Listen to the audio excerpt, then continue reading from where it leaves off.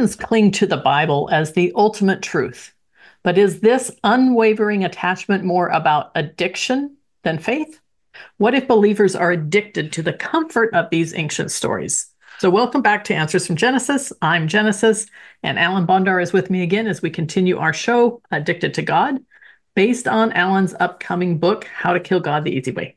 So, today we're in chapter six, and we're focusing on why Christians are so deeply attached to the Bible. Could it be that their faith in these old stories is more like an addiction to the comfort that they bring? We're going to dig into that right after Alan tells us about what's happening next week. Yeah, October 30th, uh, free launch party for my book. Very excited about it. Uh, Jen's going to be hosting uh, from Answers from Jenesis here, and um, and uh, we're going to be having some great guests on uh, that are that are really awesome. You're definitely going to want to be a part of this. Uh, it's from 5 to 8 p.m. Eastern time. Again, October 30th, uh, pre-launch. So that means it's a day before the book officially comes out. So we're going to be offering some really good prices, just like really good prices. The the Kindle is like almost free. and the, the soft cover is going to be 50% off. Hardcover is going to be selling at the book cover, soft cover price. You don't want to miss this opportunity to be a part of a really, really fun show, getting to know all kinds of people that were part of the process of putting this book out, um, and also getting yourself some really good deals. And I would encourage you to get be there and and at least get the Kindle because it will help Amazon put this book up a little bit further in the rankings to sell it and get as many people reading this book as possible. It's important that people have an opportunity to have their faith challenged and to see what it does in their worldview. All right. So we look forward to seeing everybody there. And uh, any comments that you guys put up live, um, maybe we'll get a chance to answer them. We'll see. We've got a really jam packed show, but we love the interaction. So I hope we see every see you there. All right. So, Alan, are you ready to start the 30 minute timer today and talk about the Bible's grip on Christians' faith? I am ready. Let's do it. All right. So, Christians rely heavily on stories from thousands of years ago to guide their faith creation, Noah, Adam, David, Moses, all these kinds of things, right? But could this attachment to the Bible be more than about addiction than belief? So, why do Christians keep tuning into these ancient, turning to these ancient texts, even when there's no modern evidence to back them up? I, I think it's because since we don't actually, I, I guess I'm just going to say it like this because it's it's it's reality. Since we don't actually experience God, uh, because we don't actually see Him doing the things that the Bible says He does, um, we keep tapping into the same old stories over and over again as our proof that God does these things. Well, you remember when Jesus, when God parted the Red Sea, that was amazing. And you remember when when Daniel was in the lion's den and God did not kill him, protect the life. And do you remember David? Oh, if I could just be a David. And even Peter, man, he walked on water. See, God's amazing. He does amazing things. We're always referencing the Bible stories except for the times that we just kind of make up our own stuff and say God does it. But let's be honest, they're not Red Sea moments. They're not Lion's Den moments. They're just testimonies of a random person that says something like, Well, I had an out of body, out of body experience. Okay, you say you did, but where is the written word about it? Who, who else can prove or validate this? Like, or, you know, I, I know that God protected me from the hurricane. Okay, or the hurricane just moved and had nothing to do with God. But there's no verification that that had anything to do with God. And even if it did, it's not like a miracle of God parting the Red Sea. I mean, come on, these these versions are entirely different types of stories, burning bushes and things like that. That doesn't happen. So the only way to continue to feed that belief that God is real and that these things actually happened is to continue to believe the same old stories over and over and over again. I had a friend, a friend who's um, I don't know how much of a Christian she considers herself, but she she works at a church and you know you know tend, attends the church I, I guess at, at, times. But um, but I know one of the things that she said to me was like she was like, I, I, wish they would at least do something different at Christmas. Tell a different story. It just kind of get boring. It's the same old story every single year. It's like, how many times do I have to hear this same story? Well, the reason is because that story will never repeat itself. And it can't repeat itself because it wasn't possible the first time it happened. So it's not going to ever happen again. So we just, anyway, I'm belaboring it, but that's, that's, I think, why. Okay. Um, so, you know, Christians, so, when you were talking about hurricanes there briefly, um, as one of your examples, we just went through a couple of hurricanes when, as of the time that we're recording this. Um, we've just been through a couple really, really big hurricanes. And uh, you and I both talked about this on Facebook and we had various interactions. And so I do think that this is kind of um, an important thing to bring up now. I think it's timely, right? So some, some Christians were praising God that he moved the hurricane in Florida. And yet hundreds of people still died in Florida and way more people died in North Carolina so were they praising God for all of the people that he actually killed when he moved that hurricane? Well, uh, so the way the way the response goes from Christians is, well, we don't praise God for the actual deaths and the actual destruction. We praise Him for the good that God's going to bring out of it. Um, and so that's that's the typical response. But, but but I suppose you know the question I keep pushing back on is, but yet you praise God for the specific act of the non destruction when it doesn't happen. Oh, God moved the hurricane out of the way and saved lives. We praise Him for that. Not just the good that comes out of it, but we praise Him for that. But even though God's also the reason it moved into the destructive path and destroyed lives and killed people, we don't praise God for that. We just praise Him for the good that He's going to bring of that, which is a com- completely conflicting concept. If you're going to praise God for one, you got to praise him the exact same thing of the opposite because he's actually the one in control. And therefore, not only is he bringing good out of it, but if he's a good God, then that means the actual act itself was good. So you should be praising him for that. And no Christian that I've been able to talk to has been willing to tell me, oh, yeah, no, that God is good. No, they'll say God is good even in that moment, but they refuse to say praise the Lord for that. They refuse to tell their friends, praise God for destroying your home. This is a wonderful moment. God is good to you by destroying your home. Nobody talks like that. And I suppose because, I mean, let's face it, that'd be an asshole move. So nobody wants to say that kind of stuff. But if you really are all about glorifying God, then shouldn't you be doing that even in those moments? Because that elevates the glory of God for what he actually did in that very moment. Yeah.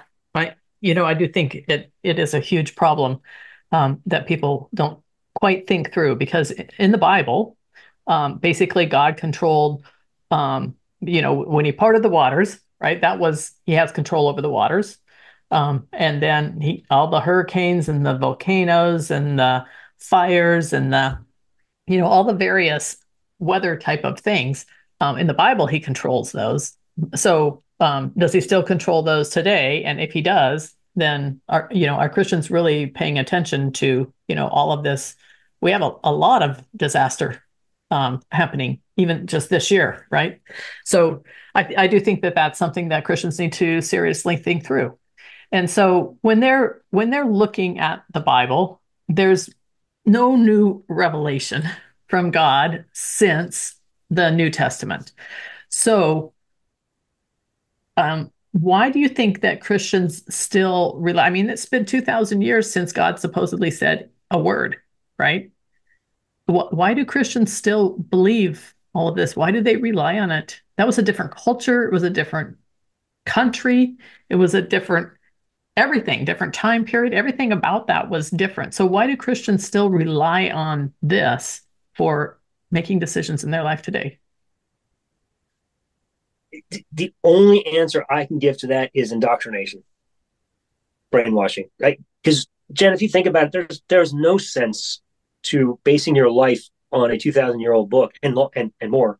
You know, supposedly from you know six thousand years ago. Who knows? Whatever. But it, we're basing our lives on ancient stories, ancient traditions, ancient teachings that have no bearing on our lives today.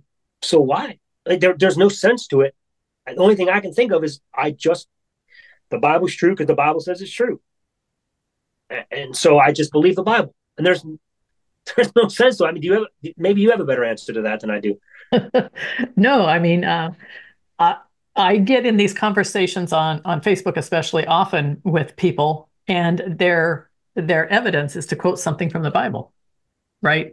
The fool says in his heart, There is no God, therefore you're a fool. That I get that a lot, right? Um, but their evidence is only the Bible. So let's take a look at what evidence that we do have.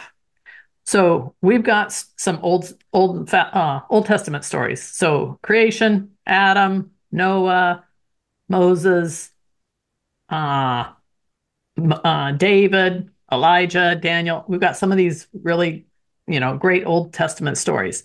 Um, we go back to these over and over and over again. And then we've got all the stories of Jesus and all the miracles that he did and all that kind of stuff, right? What kind of evidence do we have for any of those stories? Abraham, I forgot Abraham. Well, well, we well, we don't. Uh, the only internal evidence that we supposedly have is that the Bible proves itself, and so you know the prophecies come true, and so therefore, because they happen just as they were prophesied, then therefore the whole Bible is true. So it's self-validating, basically. Um, but I mean, that's not really evidence. That's just this book says this happened, and so because this book says it happened, and and therefore it happened the way it said it happened, then therefore the book is true. And it's circular reason. There's no there's no logic to that. There's not it's it's not evidence. Um, but again, it comes down to the fact that we are brainwashed to believe the Bible is true. And as long as I believe the Bible is true, I'm going to fight tooth and nail to believe that the prophecy happened here and it was fulfilled here. There's no proof for that. There's no evidence for that. Um, scholarship doesn't I mean, not not non-Christian scholarship, I should say, doesn't really support any of these prophecies taking place prior to the events or anything like that. And if they were, there's no substantive evidence to show that the fulfillments weren't just piggybacking back into it and making up a fulfillment to say that it happened. They're all written stories. I mean, not we can't even validate that any of it ever even happened in real life. They're just stories from a Bible. How, how do we even know? I mean, sure, we know floods happened, but this flood, that particular one, I mean, as far as I know, Red Seas were never parted, but a flood's not a miracle. I mean, and also I wouldn't say it's a worldwide flood anyway. I mean, there's so many, so many problems to this whole thing. There's there there there is there really is no evidence, Jen. At least not from what I can tell. Maybe maybe you have a better answer to that. So when I was trying to when I was still a Christian, I was trying to prove that the Bible stories were real. Mm-hmm. Um, first of all, my, as I've said before, uh, my uncle and my dad were biblical archaeologists, and they led some of the biggest um, biblical archaeological expeditions. Um, and so that really was a big part of my life, right? So I had a, a study Bible on the archaeological study Bible. I think it's what it's called the archaeological study Bible, something like that right? And it's so it showed all of these archaeological finds that matched up with certain verses in the Bible. And a big thick book, very very thick book. And I would I would just pour through that just, you know, trying to prove how all of these stories were true. And at the time that I read that, I believed it. I really believed that this piece of this little piece of pottery proves that the Israelites were wandering the desert for 40 years. but finding a piece of pottery doesn't prove anything. It proves that somebody lived there so many years ago. It doesn't prove that this was these were, you know, Israelites wandering some desert. It just doesn't. So um, just very briefly, um, you know, my uncle and my dad, they supposedly found Noah's Ark. They found Mount Sinai. They found the Pharaoh's chariot wheels in the Red Sea. And so they found all of these, you know, fantastic things. But if you think about it, a chariot wheel underwater, where a place where which has a land bridge. So this land, there's a land bridge in the Red Sea, right? And so sometimes water covers it and sometimes water does not cover it. it. Depends on when the waters are high and when the waters are low, right? Kind of like when the tide comes in, the tide comes out, although it's more of a river type of thing. But um, anyway, if any chariot ever crossed that land bridge and it broke a wheel and that wheel was left behind for some reason, then it would be there. Does that prove that it belonged to Pharaoh? Does that prove that it belonged to Egypt? Does that prove that Egypt was chasing Israel across the Red Sea? Does that prove that God parted the waters in the Red Sea?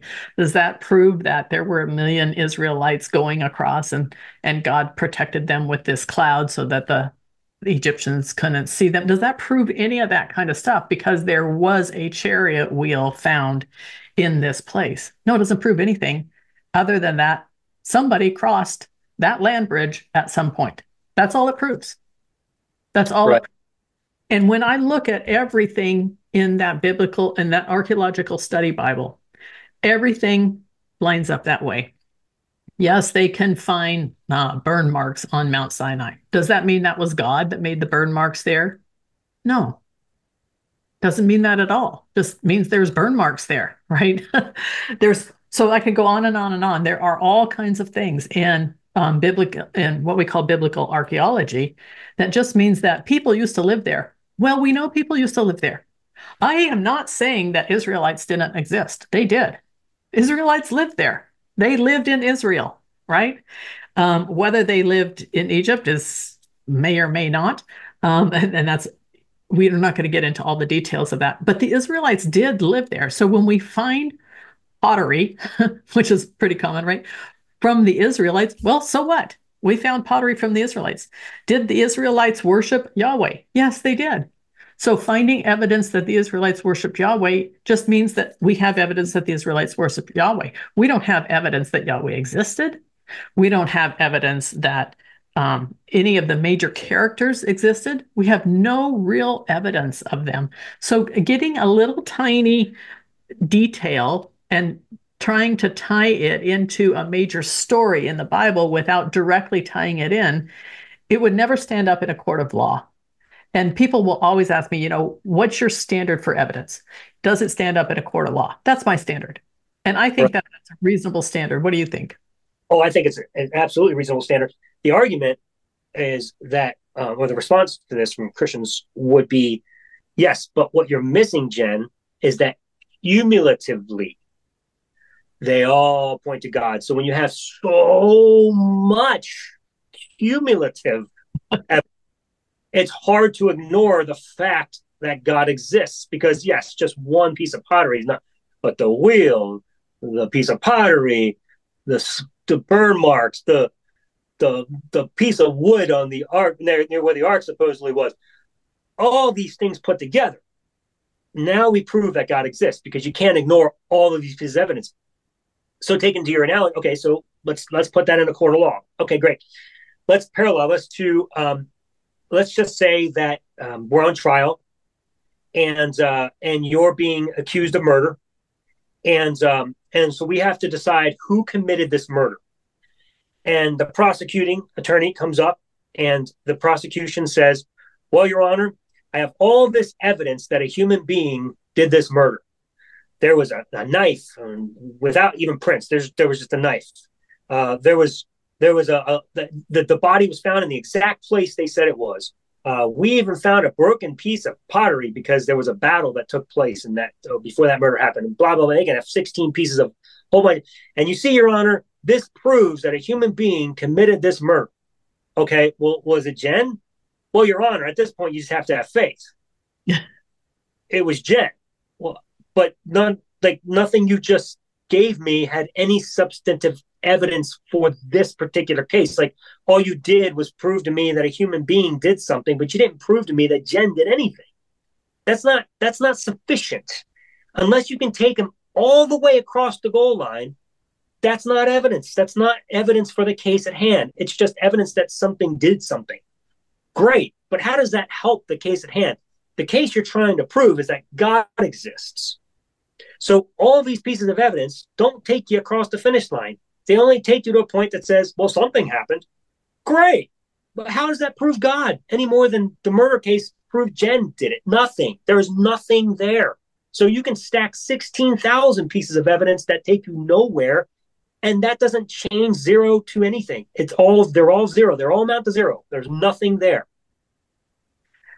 So if that's true, and we don't actually have any evidence for any of those stories, then how did these stories start? Where did they come from? Well, again, very hard to know precisely, but I would imagine much the same way we tell stories today. People have imaginations, uh, and and they they record stories. I mean, we have comic books. You know, I can imagine two thousand years from now, six thousand years from now, same type of things. And boy, these superheroes, man, they had back then, they were really being, you know, they were amazing if you start to believe this stuff exists, you're going to come up with anything to prove that it was real. It, it, just it's imagination. People put stuff down. They record stories. They had heroes just like we have heroes. Um, maybe different types of heroes, but their heroes served a certain purpose. They demonstrated the God that they wanted to believe in, and and that's it. Simple as that. And so they compiled all this, and, and it became a story. And of course, when you're telling a story, you, you attribute it to you know to different authors, whatever you got to do to make it sound more realistic and so and, and powerful. I mean, when you tell when you when you make a movie uh, today, the goal is to make it as realistic as possible. I mean, it's it's and and so you leave it at that, and if people believe it, they believe it. But th- your goal is not to like leave it as though it's not realistic. You want it to look realistic. That's the whole point. Yeah, there are some there are groups of people who literally believe Star Wars was real. Sure. Star Trek was real or even Harry Potter. And there are groups of people with those three examples who actually have debate groups on Facebook or whatever your, their social media is. Uh, and they debate the details of those stories as if they were real in the same way that Christians debate the details of the Bible, right? Mm-hmm. And so it is. Um, it is definitely. So I do think that uh, there's a, another way that this got started. It just um, so the Bible is actually one of the later versions of what I call mythology. So it used to be that we all understand that the Greeks had mythology, the Romans, the Egyptians, the Assyrians, the Babylonians, all these different uh, groups had their own mythology, right? So they came up with their own stories about what was happening to explain the weather the weather is always a big factor in all of this, right? So when they had a big storm, then they would see, they would look up in the sky. They didn't have electricity back then. They looked up in the sky. They could actually see the stars. Not, we can't do that today, mostly for the most part, right? And they would see these constellations, and this looks like this kind of a character, right? And this character, this is happening at the time that I see this character. Therefore, this character is the god of war. This character is the god of thunder and lightning. This character is the god of, you know, messenger god, whatever. This character is the love god. All of these kinds of things. They name those characters, right? So they develop stories around what they saw in the sky in comparison to what was actually happening on earth at the time. So it could be they were having a famine, could be they were having a flood, could be whatever it was that was happening. These stories came about to explain because they didn't know how to explain why they don't have food this year, but they had food last year. They didn't know how to do that. And so all they could see what, was what they could see, and that was the sky, right? So it, it was the sun, it was the moon, and it was all the constellations that they could see. So they made these stories about them, right? And so each country had their own stories and some eh, it, nations they called them back then right and each nation, um, sometimes they kind of borrowed stories from other nations, but um, back then uh, they didn't they didn't really care about borrowing gods. In fact, they were polytheistic, right? So they believed in many, many, many gods. So these are the gods that they saw in, in the skies. And so um, when they borrowed gods, they just add them to their pantheon of gods, right? So they, they, they just grew and grew and grew. We had more and more gods, and they loved that, right? And so then Israel comes along and Israel is going to be different, right? They are, we're going to be bigger and better than everyone else. It kind of reminds me of Texas, right? So I just moved from Texas, so I can say that. We're going to be bigger and better than everyone else. So Israel, they borrow all these stories from other nations. They borrowed stories from Egypt, from Greece, from Rome, from Assyria, from Babylon, other other stories as well, but those were the major ones, right? And they borrowed these stories, but what they didn't want to borrow was their gods. So they attributed all of these stories to their new God. So their new God was Yahweh, right? And so now at the beginning of the of the Bible, it's it's kind of hidden in your English versions, but if you under if you know how to read Hebrew, at the beginning of the Bible, it's still polytheistic. There's still multiple gods that it's talking about if you understand Hebrew. Um, they've hidden that in English, but it eventually they got to the point where we just want to have one God. And so that one God now became the God of all of these stories. But almost every story in the Bible has elements that were borrowed from other nations, from other gods. And that's how they started, right? And so then those became oral tradition. And that's why, for instance, on Passover, what, what did they do on Passover? You tell the story. Every year you tell the story, every single year. That was what they were commanded to do is tell the story every single year so that it was passed on from generation to generation to generation. If you heard it every year for your whole life, it became a part of you. It's like Christmas every year for your whole life. It's a part of you. You know, whatever traditions that you have in your family, it's a part of you because you do the same thing over and over and over and over every single year or every week if you go to church, right?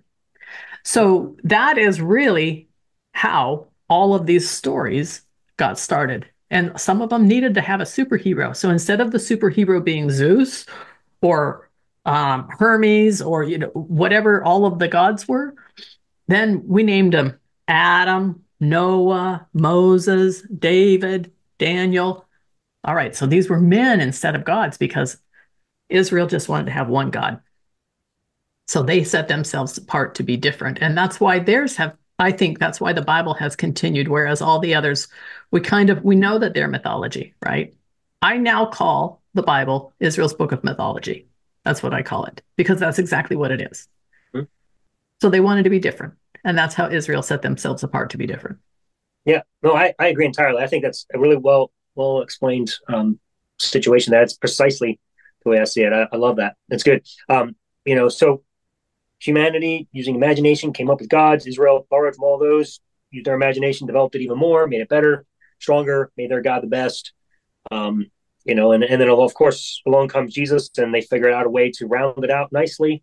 And you know, bada bing, bada boom, you have a completed story. And I mean, who knows if they ever thought that this thing was going to take off as a real religion? But good lord, somehow it just happened, and here we are. you know, even the Jews, um, if you read some of the Jewish literature today, um, many Jews believe that the Old Testament stories are simply myth and that they're just a good way of telling about the God. So some Jews believe there is a literal God, but many Jews don't believe there is a literal God. Many Jews are actually atheists, um, which is very interesting right? Yeah. So they're not, uh, I think Christians uh, believe the Old Testament stories, which are really the Jewish stories, more than Jews do for the most part. Now, obviously, it's not across the board, but for the most part, it is. Right. And, which is, which is, all right. So that's, it's something, and we may not be able to answer this, but, you know, how did Christians take this so literally when even the Jews, who the ones who were supposedly involved in these stories and writing these stories, and they did not right? They knew that they were just stories. Right. Yeah no for sure. It, it is it is mind-blowing. I, I again i christianity became a religion and so they found a way to manipulate the masses by finishing out the story well with christ being you know the the final finisher so to speak of of God's story. He's the final superhero, if you will. And so Christianity arises from that and kind of abandons Judaism and becomes its own entity. It becomes a heart salvation instead of a circumcision salvation, you know. So so that's best I can explain of how it became more of a Christianized religion. Um, but you know, of course, there's the Jew- Jewish version that still exists and in much the same way you said, and, um, and then there's even the Islamic version of it, and every, you know, there's several different versions, and they all come from the same story. Yep. Um, Christians are just more New Testament version believers.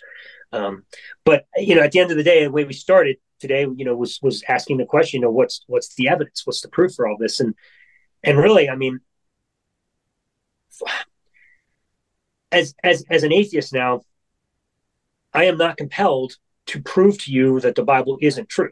I'm not compelled to prove that God doesn't exist because there's no evidence to begin with that needs to be disproven. Um, but I'm acquiescing and doing my best to help unravel some of the beliefs that you have that you think support your beliefs, because really there are none. In, in the words of Christian Christopher Hitchens, the late Christopher Hitchens, I love, love this quote. He said, That which can be asserted without evidence can be dismissed without evidence. Mm. And it's a great quote because it's absolutely true. I mean, if you give me nothing, why should I have to prove that it's not true? That's just silly. But that's the best argument Christians have anymore. Well, fine, we can't prove. You can't prove he doesn't, so therefore he does. What? right. So, um, yeah, that's a, a, logical fallacy at its best, right? So, um, I, I do know that I think I will say that the best evidence that there is no God is that there is no evidence. There's just right. no, there's no, not. Exactly. It's not like we have a little bit. You know, if we had a little bit, this would not even be a conversation. Well, yeah, but they're going to argue there is a little bit. But my point is, you and, and I think you're saying this. At least there's a little bit to take you past the goal line. Something that doesn't require faith. Right, but there's no evidence directly for God. Is there any evidence? Well, I was going to ask another question, but there's our timer. So, just like with any addiction that you need to quit, once the brainwashing has been removed, you just pick a time and you stop. That's right. And uh, don't leave just yet. I want to encourage you to subscribe, like, and drop a comment here. And if you want to join our fast growing community of ex Christians on Facebook, click the link in the description below. And please don't forget to join us on October 30th for our pre release launch party. We're very excited to see you there and hang out with all the guests. Yes, definitely. Now, if you found value in this week's discussion, you can drop a tip in the tip jar if you want. We'll be back next week, continuing to peel back the layers of religious addiction. So until next time, question your faith with answers from Jenesis.